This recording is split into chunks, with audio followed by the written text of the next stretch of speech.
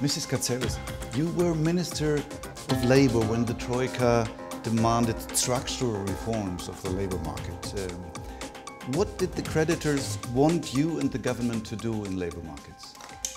Well, I assumed the ministry in early September 2010 after uh, almost a year of my being a Minister of Economy, Competitiveness and Shipping. So I had dealings with Troika before and I had uh, uh, pushed and uh, had discussed with them structural reforms under a different mm-hmm. heading. When I came to the Labour Ministry, it was evident that they had already negotiated and agreed a set of measures with my predecessor to actually dismantle uh, collective agreements and promote flexibility uh, of the labor markets without any security. Mm-hmm. Uh, the measures agreed already in August 2010, three months after the original standby agreement, uh, were clearly uh, pushing in that direction. So, uh, almost a week after I had assumed office, I had my first discussions with the Troika, and I told them that the changes that were already uh, in the process uh, in terms of the mediation and arbitration law or the uh, dismantling of collective agreements were not really acceptable, but that we could start the discussion and have a dialogue as to what might be um, a new regulatory framework for labor relations that would be supported by social partners, because for me it was important to have the support of social partners, and would ensure competitiveness and flexibility in the labor markets, but with security and the support of uh, workers as much as possible. You said they wanted the complete dismantling of all collective agreements? Uh, we had, this was the, I, I think it's clear that this was the end uh, objective. But that's that's uh, that's the an attack on all trade union Unfortun activism. Unfortunately, it is an attack not only on trade union activism, and we have seen that, but also on the capacity of social uh, partners to come together and discuss and agree. And uh, what we've seen since then is exactly this an abolition of social dialogue against international conventions, against the ILO, uh, the International Labor, International Labor Organization, against uh, what we consider a European social model, and against, of course, what is going on in Germany and other countries. What is the rationale behind these measures? Well, the rationale was and still is a very neoliberal perspective that any kind of collective agreement or any kind of um, uh, regulatory framework uh, works against the competitiveness of firms. Uh, so that if, for example, we let wages fall as much as possible, uh, or if we don't uh, allow uh, sectoral or occupational agreements to regulate wage and labor conditions, then uh, somehow uh, profits uh, would rise, investment will come about, and unemployment will be mitigated. Of course, this is a myth, it has never happened. And one of the early discussions we've had with the Troika was uh, exactly my warning that if you impose uh, across the board in an economy such as the Greek one, uh, the dismantling of collective agreements and wages drop by 30 and 40% as they were expected to drop, this would deepen the recession even further because purchasing power would just be squeezed even more. And what did they answer? Well, it uh, sounds a plausible argument. Uh, well, this was an ongoing discussion, especially with Mr. Thomsen. Uh, the representative of the IMF. The representative of the IMF uh, he was convinced that somehow profit generation would be uh, an enabler and a sufficient driver for growth to resume in Greece uh, without considering at all uh, all the other impediments uh, structural impediments that I think are still extremely important and they are binding constraints in the resumption of growth in our country. Mm-hmm. And how did they react when you did not agree? Well, uh, I still remember uh, the first uh, meeting we had, where after an exchange of arguments, uh, pro and against the my proposal to institute for the first time in Greece a firm level collective agreement.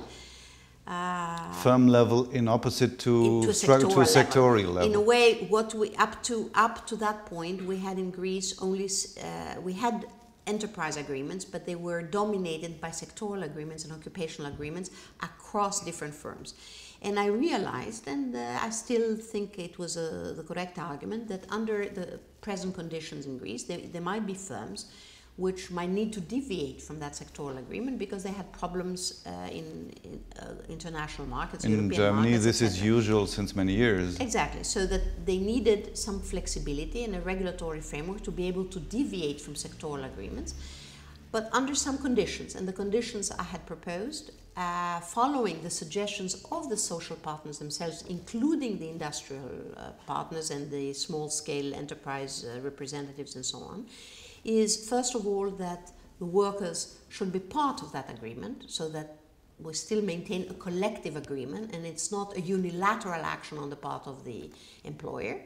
And secondly, that if there is a need for such a deviation, this should be made apparent and transparent and should be a, a report in the General uh, Labor Inspectorate justifying uh, the one or two or three reasons why such deviation is essential. Mm-hmm. These were the only prerequisites. The Troika found these even uh, um, not suitable uh, and uh, too binding for employers.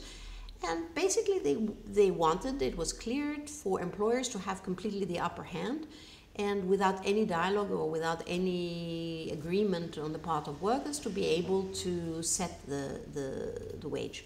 Now, the interesting thing is that uh, later on they went even further.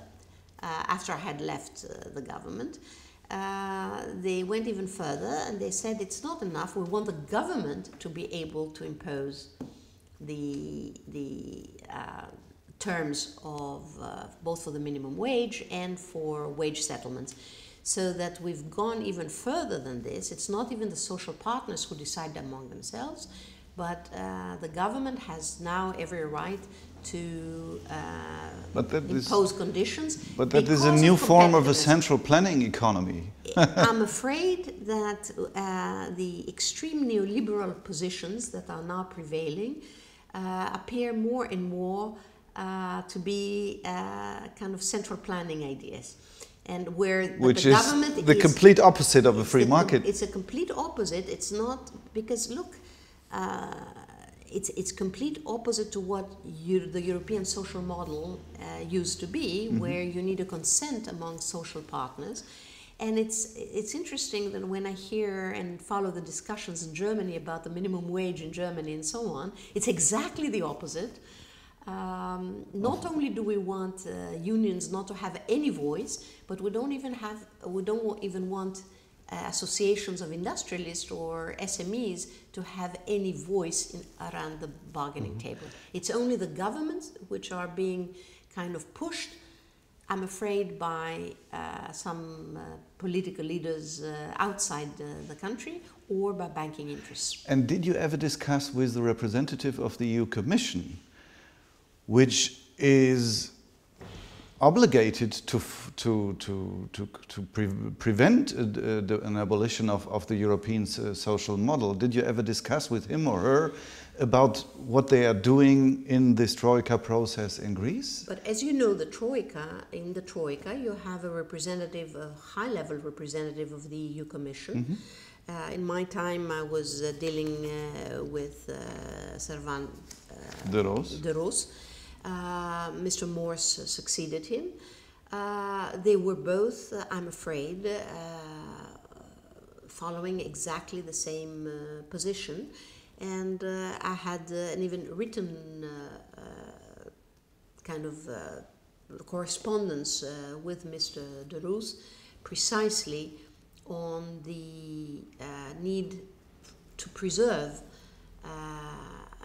kind of collective agreements, to preserve the social dialogue. And, and in that kind of confrontation we had, I even submitted in writing the support of all social partners for the proposal that we submitted. And it is against that uh, agreement that uh, the Troika pushed for complete change of labor laws. So they assumed that even the employers do not know what is what good. their interest is. What, what their interest Exactly. is, what, what is good for them. Well, that's exactly what has happened, and this is the reason that now social dialogue in Greece is dead.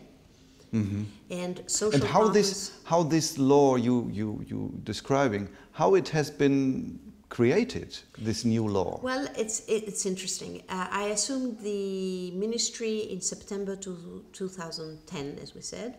Uh, we had negotiations between September 2010 up to December 17th, to 2010, when I presented the bill in Parliament.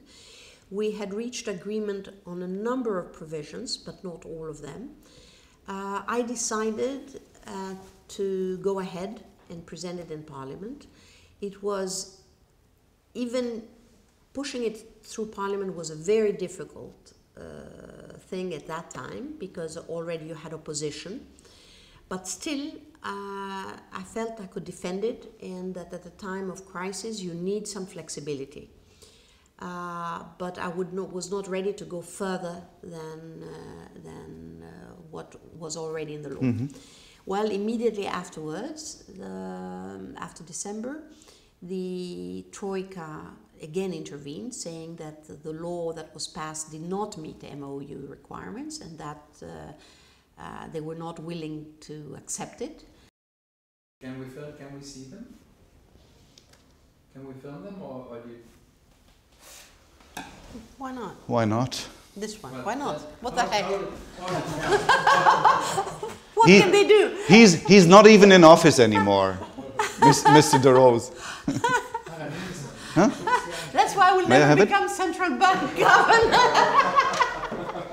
That's the cost. Dear Minister, we have a s- serious problem. Text is not acceptable. Key, indispensable provisions are absent. And very much comments, proposals have been ignored, in some inconsistence with MOU on many accounts. Uh, so we had a bit of a political uh, Impasse. impasse. And uh, then the Minister of Finance intervened uh, politically, I presume with the blessing of the Prime Minister, actually arguing that uh, this was as far as we could go and that we would follow the implementation of the law and see if uh, changes need to be made in due time. Well, the law started being implemented between January and May uh, of 2011. Uh, in my view, the implementation went okay, was all right. Uh, we had already 13 firm level sectoral agreements. Uh, and, and the situation was being normalized. In May, when they came for the next uh, Review. for the next, next review, they did not raise the issue of implementation.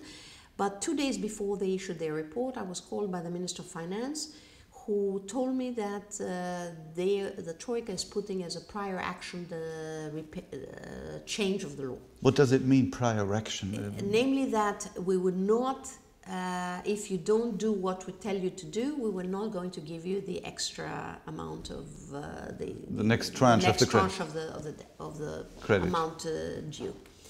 So uh, this is a blackmail in a way, saying that either you do whatever we tell you to do, or we don't pay, we don't give a tranche. This is a conditionality, but in a conditionality which is so enhanced and so severe that I've never seen it in my professional life, and I've seen many standby agreements in many developing countries, including Africa. Uh, I negotiated a couple of standby agreements, and I've never seen terms such as the one. and they Just these ones. circumvened you as a responsible So- minister so- and went directly Well, through the they- finance ministry. They always went directly through the finance minister, who was the chief negotiator with the Troika. Uh, I think even that was a mistake, and this was a mistake of the Greek government from the beginning, because it was only, and it continues to be, there is only a finance minister who is the key point, uh, point of contact with the Troika and he's the official negotiator with his own team. Uh, there is no team as such which is negotiating. And a second uh, terrible mistake, in my view, is that we, rather than speaking at the political level, there are uh, the Troika consists of uh, high level officials of the three organizations uh, who should be talking at the technical level with Mhm. uh, Greek uh, representatives and not at the political level. So there was a lack of political legitimization, uh, which we can discuss. So uh, when in May, in May, the this request was put forward and uh, for the law to change, I I said I cannot sign such a change. The implementation continues. And They the change would have been, to, in essence, the change would have been the complete. going back, going back to their original demands, namely dismantling the the collective uh, the collective agreements and having uh, kind of uh, complete flexibility in terms of wage uh, uh, formation. But wouldn't that ha- this have meant also that there is no further purpose for, for trade unions? No well, need? but Because what, what do trade unions need if uh, do when they do not collectively bargain? and bargaining? not only trade unions but all social partners Yes. and this is i think the reason why industrialists uh, uh, commerce representatives and so on understood that from the beginning that their own role was completely uh, was not needed and that's why they supported me uh, throughout this process and they supported the, the preservation of social dialogue and of collective agreements otherwise they had no raison d'etre Mhm. uh, so, um, well, to make a long story short, I did not sign, I did not agree to their requests. Uh, it was two days before the signing of the report, so they said, okay. The we- review, the- The, the the- review. Uh, so there was an intervention, I'm sure, by the Prime Minister. Uh, they did not want a governmental crisis at that point, so the point was not raised. But uh, two weeks later, there was a reshuffling of the government, and I was removed uh, from the ministry. Uh, Ten days later, uh, my understanding is that the Ministry of Finance called on to the Secretary General of the Ministry of Labour and asked them to start preparing uh, cha- changes in the law. Uh, changes in the law came to Greek Parliament in November of 2011. Uh, it was a clear, um, the clear kind of uh, regime switch, let me put it this way, where all labor relations were changed, complete liberalization of uh, labor relations, a dismantling of social dialogue, collective agreements. Uh, and uh, I voted against. I was the only parliament member who voted against it. It was the Article 37 of that uh, law. Uh, it was two weeks, no, it was a, few weeks before the referendum and the Mhm. whole Cannes agreement. I voted against it and I was expelled from the PASOK uh, um, parliamentary group as a result. Mhm. Um, so at that, when I spoke in Parliament, I told them, look, the next step is the dismantling of the minimum wage. Ah, you already knew that. I, no, I could. I, I knew it. I knew it would come, Mhm. and uh, it was uh, exposed. Uh, it's interesting to go back to that discussion in Parliament to see my colleagues in Parliament, even my own party, saying that no, this is a red line. It would never happen. Well, it happened a few months later, and. Uh, No, even in, even in December 2011. uh, 2011. this was the second memorandum was voted uh, where the, the changes in the minimum law were introduced were in uh, February Mhm. of the next year of 2012 and uh, so uh, it was clear the second uh, thing which I mentioned at that speech is that uh, look uh, we will have a much deeper recession than the one uh, than the one uh, uh, estimated, primarily because of this action. That when in a country at the time of a crisis, not only you cut fiscal expenditures by the percentage that you did, but at the same time you let all wages drop uh, by 20 and 30 percent uh, across the economy without any flaw, uh, this will uh, have dramatic effects on uh, unemployment and on purchasing power. And unfortunately, uh, I wish I was not uh, right. Mm-hmm. When you dealt with the Troika, how, how did these officials, as you call them, or others say technocrats, how did they deal with you as an elected man- minister? that's a different. I, I have to say that because I always um, talk to them uh, base, basing my, my positions on arguments and technical arguments, and I was, uh, being a professional economist, I could carry the argument. And play in their Uh, league. Yeah, they were, they were always uh, serious, and we had an interesting discussion. On the other hand, in many, in a lot of the correspondence that we had, I think the tone of the correspondence was not suitable. For example? If anything, uh, for example, they would uh, we would receive letters and have many of them, which would say this is unacceptable, uh, it has to be changed, uh, or drafting and redrafting of laws or or uh, articles of a law that we would send to them to check. And I'm sure they had legal offices uh, which uh, helped them redraft, both in Greek and in English, the law and the text that was sent to them. So they themselves were drafting laws. Absolutely. And they continue to do so. So they, they played the legislator. Well, I think it's, look, the, the Greek government uh, progressively uh, lost its capacity to govern. The, the country, uh, till, I would say probably till now, uh, even though I'm not in government and I don't have a first hand experience, is being governed uh, by the Troika. But allow me to show you uh, here. if you can see, uh, they would send a draft uh, uh, article and they would s- scratch it out and put a new text. Uh-huh.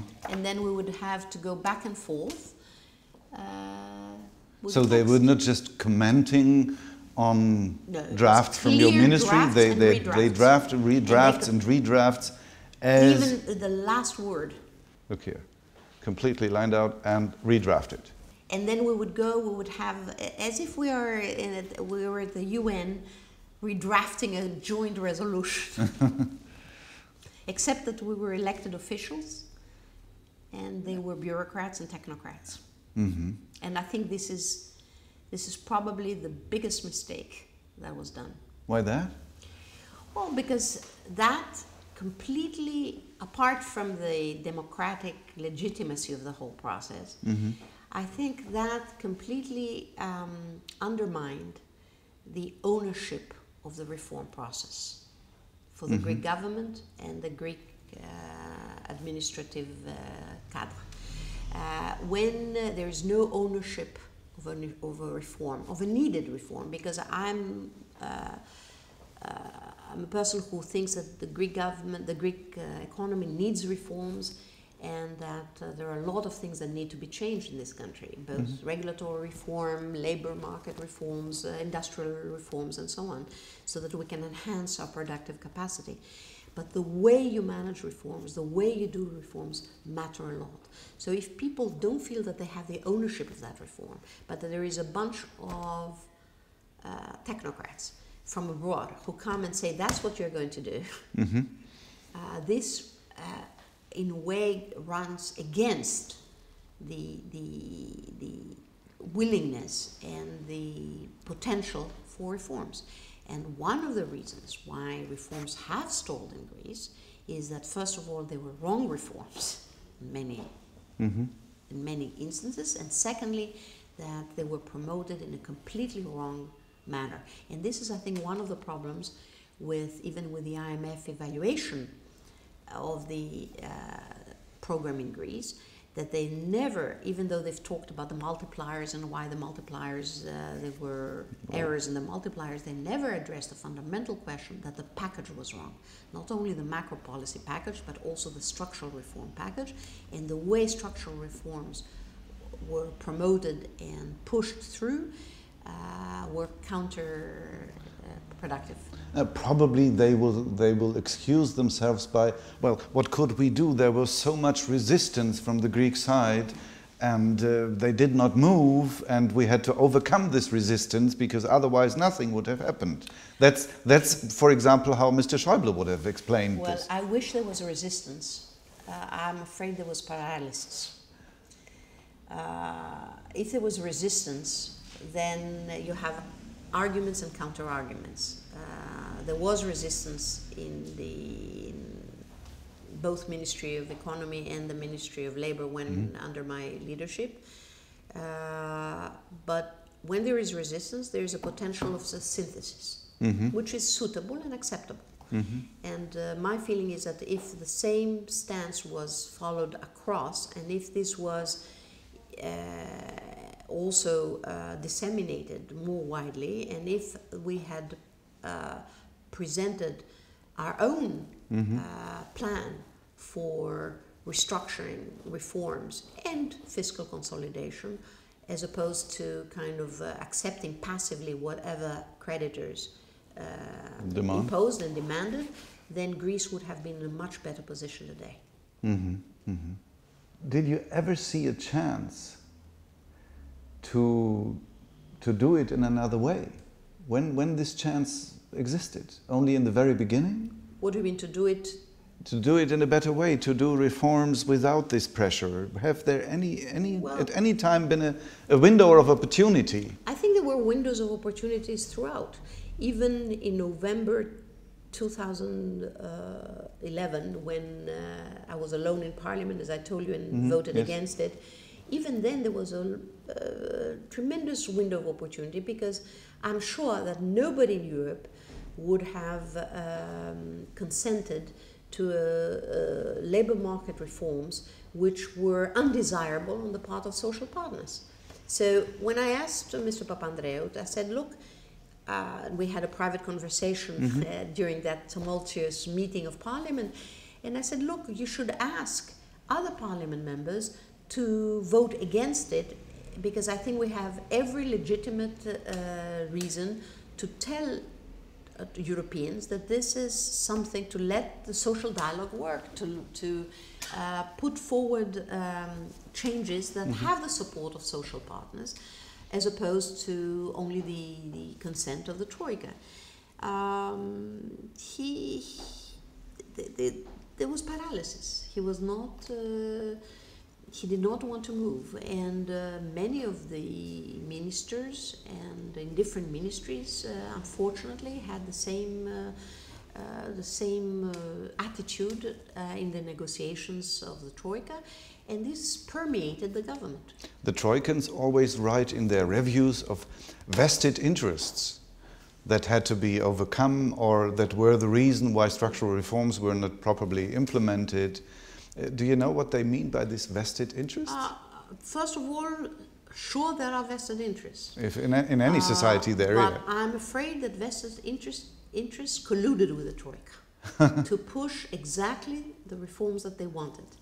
What kind of vested interest well, do you think, for example? Uh, for example, the some parts of the financial sector uh, were very uneasy about uh, the transparency that wanted uh, that was required for from the firm level collective agreement.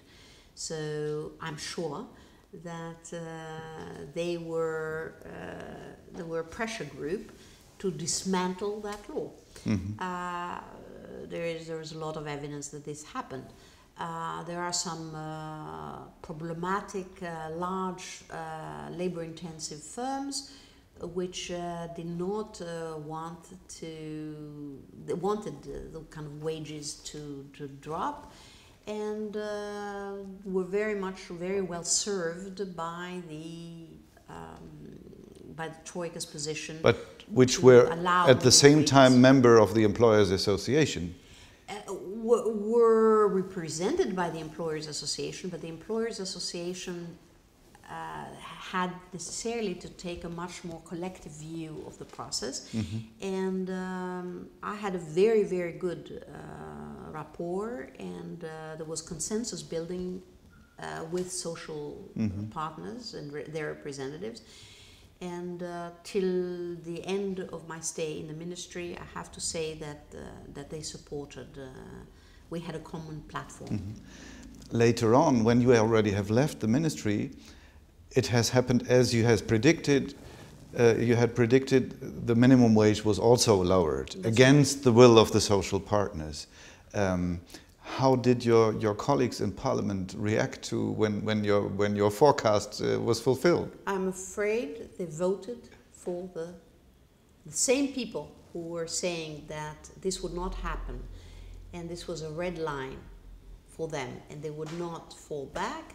They all succumbed and voted in favor. Uh, but Was it, was, but was it voted at all? Sure. It, it was, No, it it was was declared voted- by a government decree? No, it was voted, it was part of the second memorandum of agreement in February 2012. Ah. Uh, But it was not a special law, because the, the minimum it was minimum wage is a law. Right? No, but but this was the the the, the guidelines were incorporated into the second memorandum, and then the different uh, legislative uh, measures were taken. Mhm. So uh, the the Thucydides, uh, many many years ago, said uh, something which I've seen it in practice now that. Uh, uh, the, the powerful uh, kind of push you as much as their power allows you, and the weak kind of withdraw Mhm. uh, to the point where their weakness uh, leads them. And I'm afraid that uh, throughout this experience, the thing that struck me more is how easy people whom you thought would stand up were Mhm. able to give in. And one of the reasons, and now when you talk, and I talk to officials, EU officials or IMF officials, they are the ones who argue openly that why do you say that? The Greek government did not negotiate Mhm. with us. And, and it's really this paralysis and this uh, submission that I find inexcusable. Mhm. Since you are a very knowledgeable person and an economist, and uh, you have dealt with the banks, may I ask you some questions on the on the bank uh, Sure recap thing? Because this is one important issue for the film. That on the one hand, there's spent so much money on banks, and on the other hand, there's lack of money in all the other necessary uh, fields. Um, as far as I've understood, the Greek government has already spent around 40 billion euros for the recapitalization of, of the four pillar banks, borrowed money from the European Security, uh, Financial Stability Mechanism, and at the same time, the Troika imposed, or the Eurogroup imposed, that these banks, which are de facto nationalized now, are being reprivatized in a relatively short period of time, in three years only. And um, by this, the government is going to, to lose a lot of money which were invested in these banks. Um, what is the, the logic behind this process? Wh- Why this happens? The Americans, the American government made a profit with uh, making their banks healthy again. The way the recapitalization process is going on means that not only the Greek government, but also European taxpayers are losing a lot. And there is a massive transfer from the European taxpayer to the European financial system, including the Greek banks and their owners. Uh, this happened consistently. It happened in the beginning. The reason why the issue of the restructuring of debt was not put in the political agenda was because German banks were up to their ears with Greek bonds. And if a restructuring and a haircut was imposed at the beginning, it would have meant that they would have lost a lot of money. Mrs. Merkel and Mr. Schäuble and uh, the European leadership were not ready to uh, see this happen. Mhm. So the discussion was not of the Greek of a restructuring of the Greek debt was not uh, touched upon, and it was touched upon only two years later after German banks and other European multinational banks were able to divest 130 billion worth of Greek Greek sovereign bonds. bonds. Mhm. And the same happened in other countries as well. Secondly, we went through the PSI, and Which- which was a debt a, relief, with, a- no? with a, a haircut Yeah. and a haircut, with complete. The, the amazing thing to me is that this happened with almost complete, with almost complete offset of losses to the banking sector through the recapitalization process, but with zero, zero redemption of losses for individual persons who or legal public legal entities who were also submitted to a 50% haircut overnight because they were holding Greek bonds. So Greek individuals, individuals who were holding Greek bonds were saw their property and their assets cut by half overnight. Universities, hospitals, uh, chambers of commerce, public entities also lost half of their assets in one night. Well, the Only banks. The responsible decision makers, are, when, when you put the quest, this question to them, they say, okay, this is a pity, but the, the four main banks we needed to recapitalize because without banks there is no economy, and without um, the economy working, uh, the suffering of the Greek people would be much The- harder, and that's the reason why we had to, to spend Right. 40 billion for the recapitalization. This is the most simplistic argument that only fools can accept. Because banks are definitely needed. Banks fulfill a very important intermediation role, there is no doubt about it. But how banks function and if banks can, can produce outcomes for the benefit of the real economy mm-hmm. has to do with the way banks are regulated and the way banks perform. Now, in the case of the European financial crisis, banks and financial capital, in a way, captured the political process, uh, kind of pushed through uh, a series of, of measures that uh, benefits owners of banks and uh, uh, kind of high level staff of banks to the detriment of the real economy. And now, so many years after the crisis, we still don't have liquidity channeled to the real economy. We have small scale and larger scale and uh, viable firms craving for liquidity, and we are pumping more and more and more money to banks, which are going to use it to cover their own liabilities with no with absolutely no guarantee that we put a framework in place or a mechanism in place to channel this needed liquidity into the real market. And there is no provisions. You asked me we started the discussion about the the recapitalization. Well even when banks became public for a short period of time before their privatization there were absolutely no mechanism put in place to safeguard that the real economy is being uh, financed. Eh, But my question went even a step further. Because of the forced reprivatization in only three years, Yeah. the government Is going to lose is, money. is going to lose money with a very, very Absolutely. expensive investment. And, and at the same time, hospitals do not have enough money to buy uh, disinfectants and antibiotics. Exactly. It's a reverse transfer. It's a reverse transfer from government, wage earners, pensioners, taxpayers to the banks. And the, the, the privatization and to few. So the and this is not only in Greece, it's everywhere in Europe. You see, uh, even the way the banking union is being uh, promoted will lead to the same results.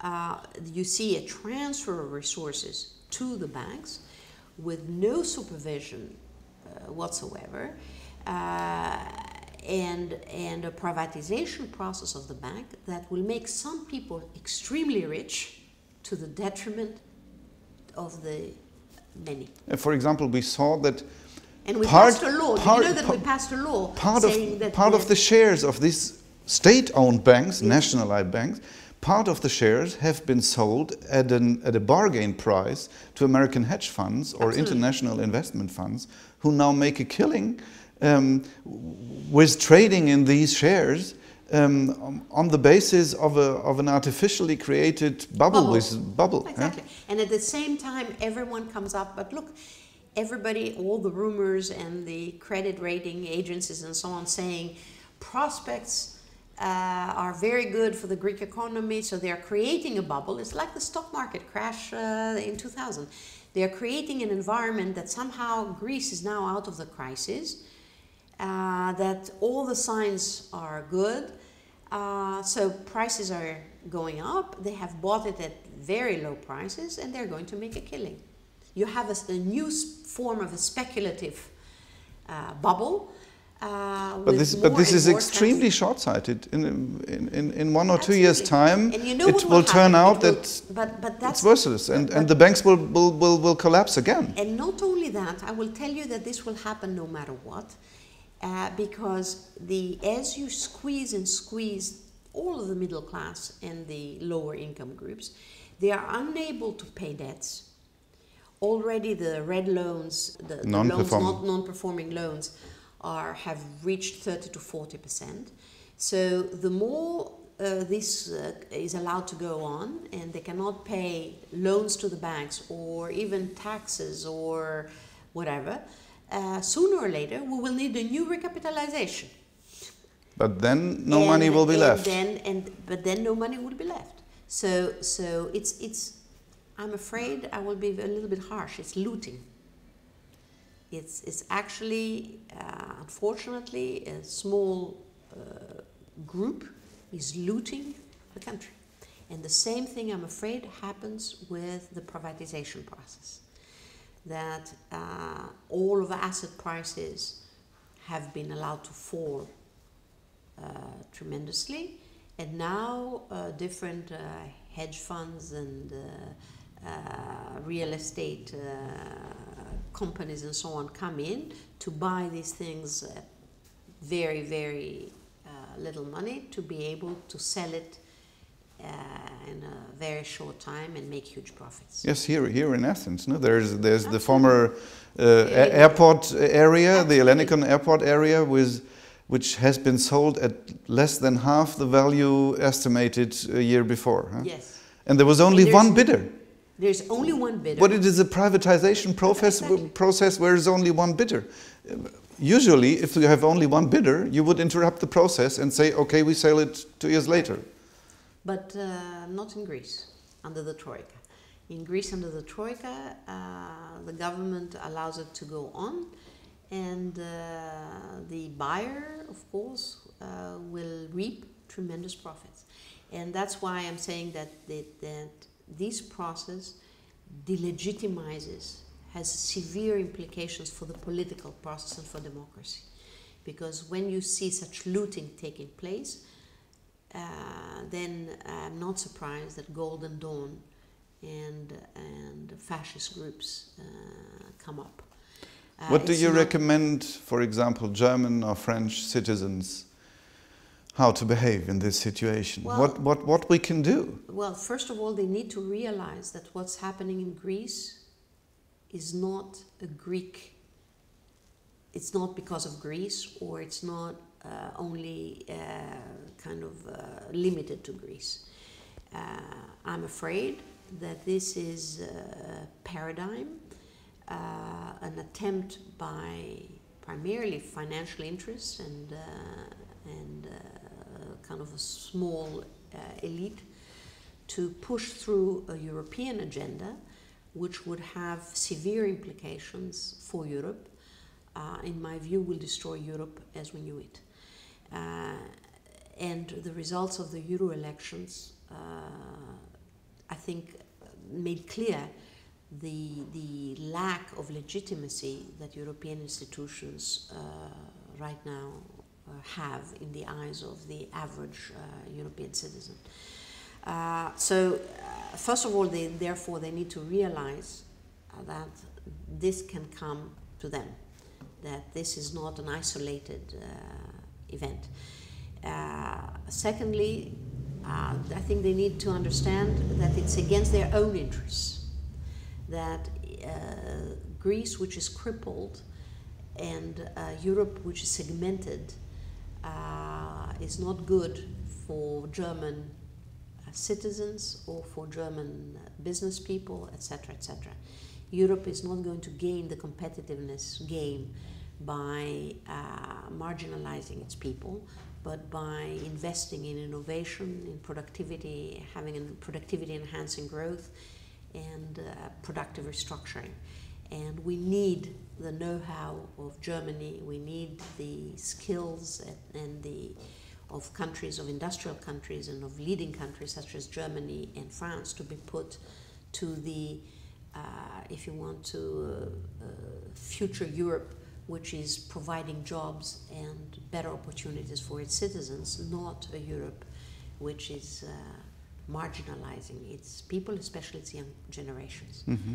Well, many Germans think, I'm sorry to say that, but many Germans think the Greeks shall stop complaining. They have done it wrong. We have lent them a lot of money uh, to, to, to avoid their bankruptcy, and now they shall start working. You know, that's, that's what ordinary people talk in, in, in, in, Germany. What do you tell them? Well, I think uh, there's no doubt that uh, Greece has had, has had many uh, wrong policies in the past. Uh, but uh, allow me to say that Greeks are working very hard. Actually, they're working even harder than German. many times, uh, according to official figures. We are different. Uh, uh, and uh, there is a, a, a, lot of the of the problems in Greece, including corruption, including expenditures uh, that were unwarranted and so on, benefited Germany. Uh, let's not forget that uh, the biggest scandal in Greece was the Siemens scandal. Let's not forget that uh, in the telecommunications business, uh, there were a lot of shabby business. Uh, let's not forget that the procurement in the army procurement uh, was, uh, it, it, needed two to tango, and unfortunately, uh, large German firms were very much involved. So I think as Europeans and as colleagues in a larger Europe, we need to work together. Uh, and we need to, to face and be very honest with each other to see where asymmetric, where, where we can correct asymmetries. You cannot have within a unified euro, under a eurozone, a country which has large surpluses and sustained macro surpluses, and other countries sustained macro deficits without any uh, attempt to manage these imbalances across a unified eurozone. We will have crises coming up. We cannot have a eurozone unless we deal effectively with tax evasion and with the tax havens. We cannot have a eurozone together unless we tackle the banking regulation, unless we change the European Central Bank so that it can lend directly and it can intervene effectively in secondary markets to protect the Eurozone from speculative attacks. We need to have a European agenda for innovation and growth. We need to have uh, provisions for our young to be able to move across our countries. We need to have a common migration policy. So there is a whole agenda that I think ties us together. And uh, the worst thing we can do for Europe is to allow this segmentation and this uh, um, these policies to continue because these are policies which divide us and not unite us. Okay, thank you very much.